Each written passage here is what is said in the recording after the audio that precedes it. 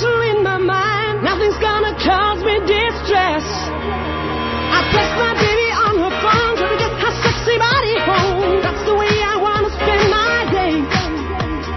Got to find a.